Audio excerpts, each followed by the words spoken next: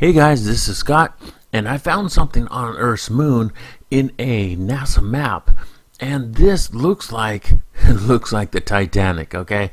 It looks like it's made by intelligent beings. This doesn't just look like a pile of rocks. This looks like a ship that has landed and just kind of broken its back a little bit as it's landed. This looks amazing, guys. I colorized it right here so you can see it a little bit better. Here it is in a bluer color, so some of it stands out a little bit more. Zoom out a little bit. Okay, I put it in a blue tinting because I can get about 7% more shading covering these white areas, which gives us a little bit more detail. But look, can you see these this pipe coming out? Can you see these like uh, towers coming up over here, the edges? I mean, these are just amazing structures on Earth's moon. Uh, here is the original in black and white. Uh, it's a little bit darker, but you can see it quite well. And the detail is all original. Uh, it's untouched, really, so that one is kind of cool. Uh, here it is in colored. Here it is in original.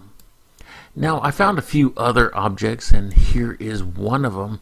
It's hard to see this one right here, uh, but you can see it's some kind of structure and it's too difficult to see. Uh, here's another one. It's a longer structure. It's a longer structure, uh, but there's a couple of these out there. That's a weird thing about it. There's a couple of them. Okay, let me show you the map I got it from. This is the original map. It's from the LROC Quick Map, and it's from the ASU, Arizona State University Education Area. And check this out, guys. Check this out. This is the structure right here, and it's not the biggest one here.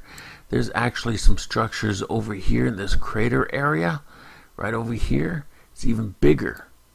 And there's a few others around that I just thought, hey, I gotta show you guys this.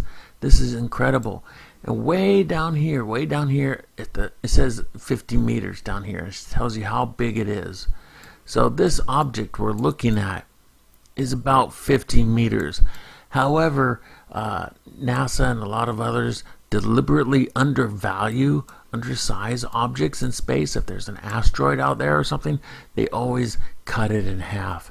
So I'm guessing it's closer to 100 meters. Okay, that would be a little bit more accurate and the object is right here.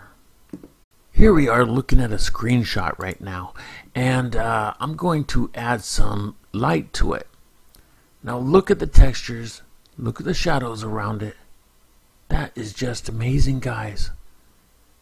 This might not be a ship, it might be a whole city. I mean that is just crazy cool. That is really really strange.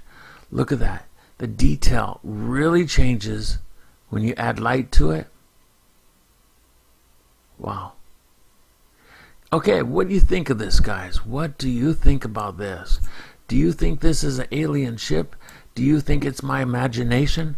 Or uh, do you think there might be a lot more about the moon that we don't know that we need to know? Hey, Scott C. Waring, UFO Sightings Daily. Like and subscribe.